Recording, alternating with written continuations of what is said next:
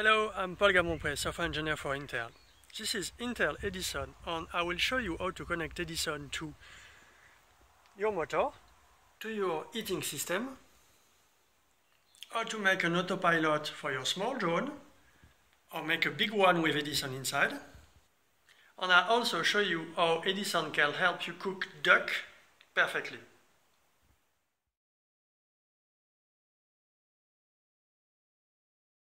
So here's my problem. I have an old heating system, but I'd like to reduce my carbon emissions and have the optimal temperature at all time. I could add Edison inside and make it smart, but the heater is just one part of the problem. I also have pumps. Until now, I had a system where pumps and heater are on the same plug, and this plug is customized to get power from two cables. The first cable is uh, controlled by a simple thermostat. The goal is to protect the pipe from freezing or to set the temperature at a fixed level.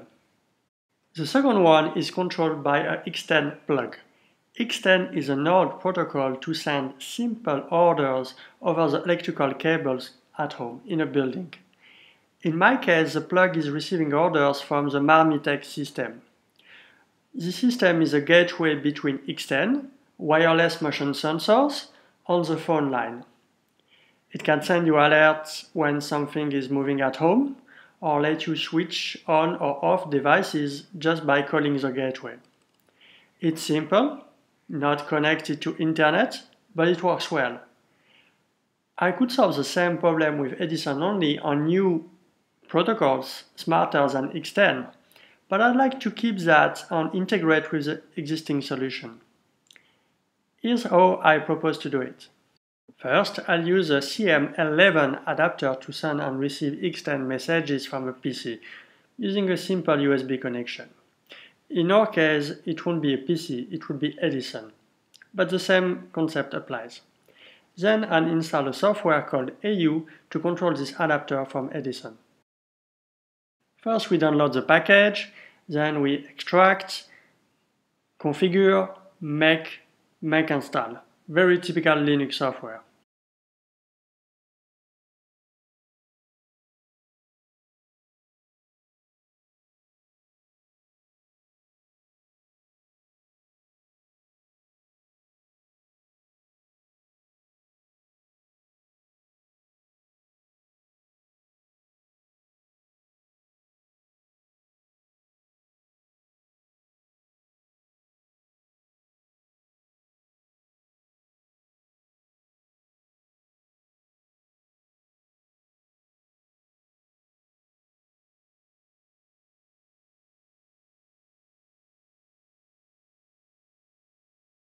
When I plug the USB cable of the CM11 adapter on Edison, and I put the switch in the right position to have the full-size USB port enabled, and I run LSUSB, I can see the adapter in the USB devices.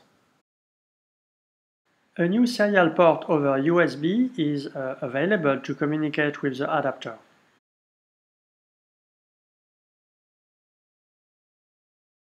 To configure Heyu, I have to create a few folders in the system and copy the config file in my home folder.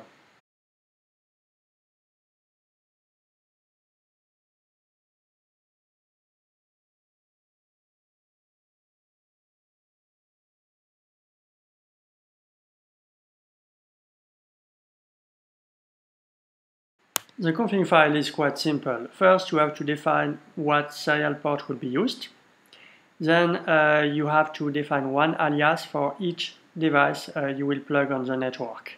For example, here I have my first light uh, with address A4. The letter is the network. For example, usually by default it's A. And each adapter will have a specific number. You can even plug different adapters with the same address. They will uh, behave exactly the same way.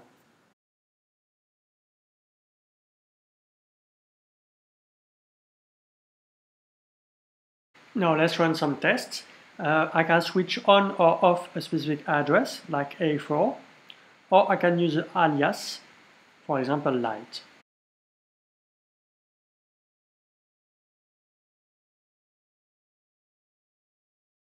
Go further with the Heyu configuration, there's tons of great features.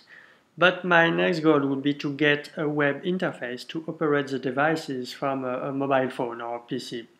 And if possible, in Node.js, as it's my language of choice for IoT. I found Domus, and I quite like it.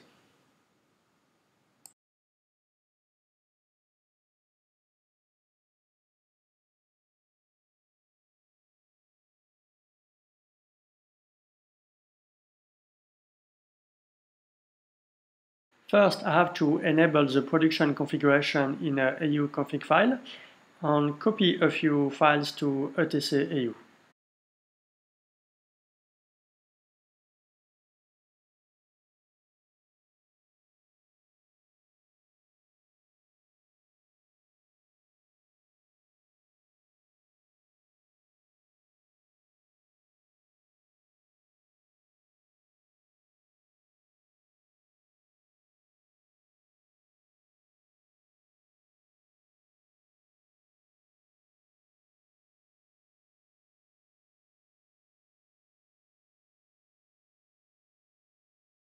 Let's launch the Node.js server.